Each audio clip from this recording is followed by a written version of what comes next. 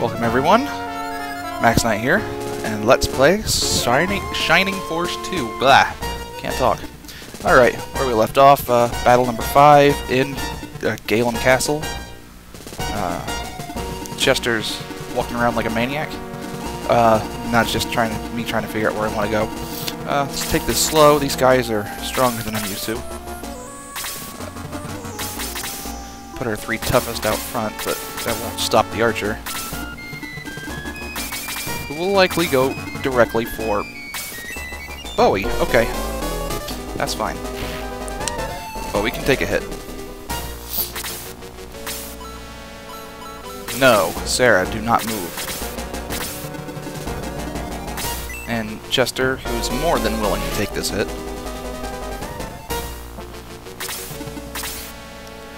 Alright, Jaha. Yes, I knew his turn was coming up. Archers have less defense, I think. And he really needs this. Like, bad. Come on. There you go. With that hit, Kazin will get another, uh... We'll get an attack in. No, attack the archer. I think I'll save this, uh, archer. Level 7. Nice. Alright, Kazin, earn your first level. Blaze always does 6 damage to anything that's not weak to the element or resistant. And resistance comes in 25% and 50% flavors. So, something to keep in mind. Once again, Bowie's the target, which is why I didn't heal him yet. I want to get the most out of my healing. And I'll get 12 points out of it, it looks like. Um, more than 12 points. This is good. Yes, a full 15 points of, da of damage healed when it comes time for it. And Jaha, maybe earning a level? Maybe? Yes. Jaha's no longer lagging behind, and he actually gained 2 HP. Not that it's unusual, he usually gains more defense though. Uh, Chester. Oh, I remember mentioning uh, music. There is a boss theme when they uh, when the bosses are fighting. I just never don't want to cast that.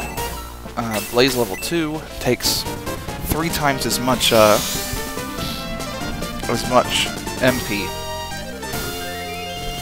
Deals slightly more damage, but and can hit up to five targets.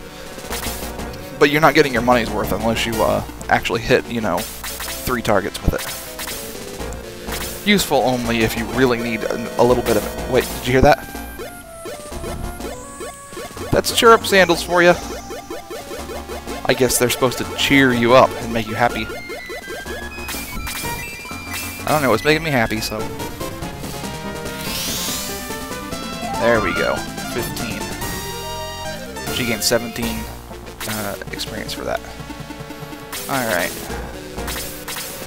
Moving on. A bit of a defensive front down here. Ah! Blazed. Six damage to Bowie.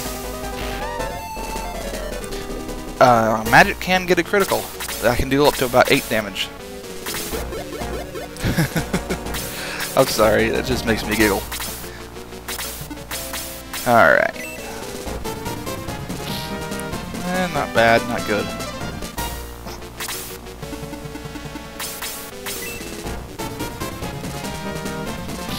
Oh, does not take him out. Think. Oh, good. Let us smack the mage over the head for one damage. Nice. Nice. Two levels and like three attacks. That's not bad. He did need it though. The only other one that needs it that bad is Jaha. Sarah does too, but she can also get by.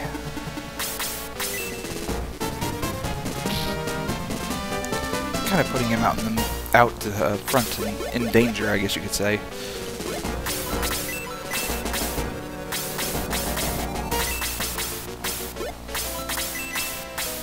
Yeah, I guess I'll heal him.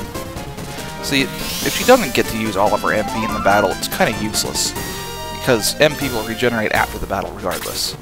So you might as well get some use out of it.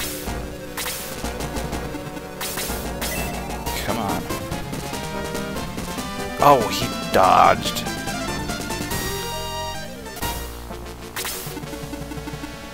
Oh my.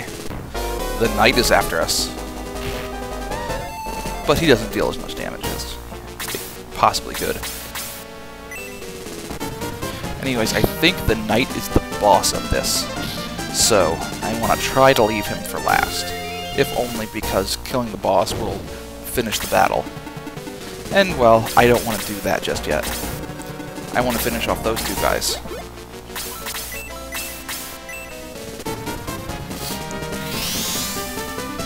Yes, I know I'm putting Sarah in danger, but I didn't have a better choice. Ah, now this could be good. I just need to be able to make Kazin move up there to hit both of them. I know I said hitting two targets, or hitting three targets in this case, uh, Blaze 2. But I'm willing to do it just two. If he has enough MP, I can't remember if he left enough for it or not. Uh, Go ahead and hit him once.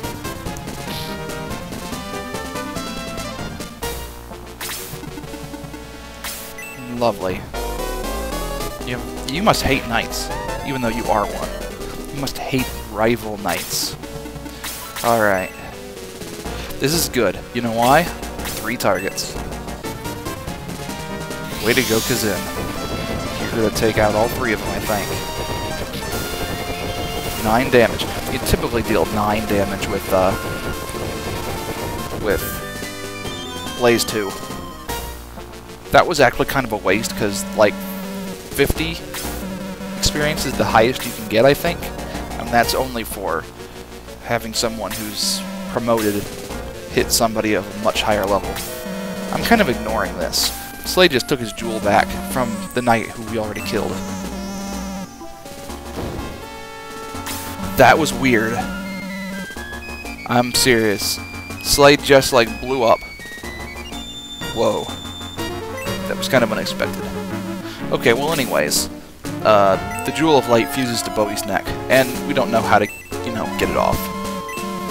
They think it's cursed. It isn't cursed, but they think it is. Anyways, Slade joins us. Prepare for the fail. I mean, okay, he turns into something really, really freaking awesome. But he starts out as something way not awesome. I mean, take a look.